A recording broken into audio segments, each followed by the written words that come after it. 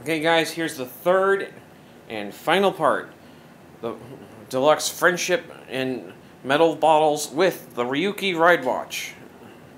Now, here we got, see, special, unlike other full ball sets, but similar to the, set I got last year's Otakon, little A set, this pertains to an actual rider form. This uh, two pair of rider forms. We got Fourze and OOO. Friendship for for Fourze because his strength came from them, and o, and the medal for OOO.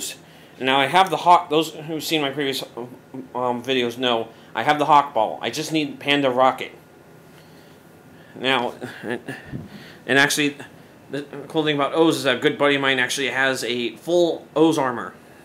In fact, if I let, I'm thinking if I let him borrow my build driver, he can actually do build as OOO, as OOO. Now, we will be opening on the left ahead of time. Just want to let you know. Here we got the bottles with, with the drill crusher, the build driver, and the full bottle holder. Bottom up, close up of the bottles with the, their respective writers. Here, twisting of the friendship bottles, bottle cap. And here, information on, well, right here, the basic stuff, but here, information pertaining to the, the bottles with their respective best matches. Opening on the left. Boom. Friendship, medal. Technically, it could be a best match. And now, last piece, Ryuki Ride Watch. Oh, I forgot to mention with the Fourze, the um, shoulder guards are rockets, while with drive it's the, the shift it's the tires. Now here with Ryuki we see a close up of the Ryuki armor used by Zi-O.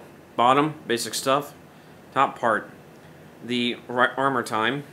Here Ryuki with the date 2002.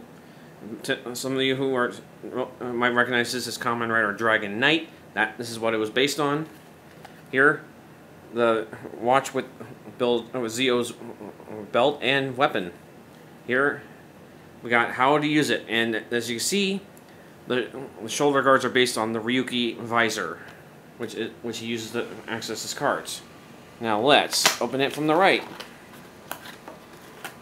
And oh shoot, I'm gonna have to throw that in the trash, but well, instructions. Behold,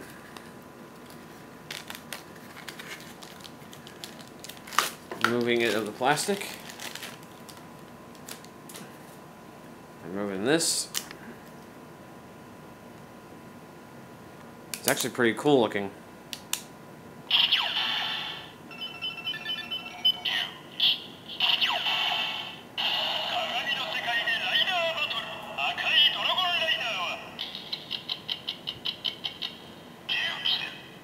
This is seriously wicked.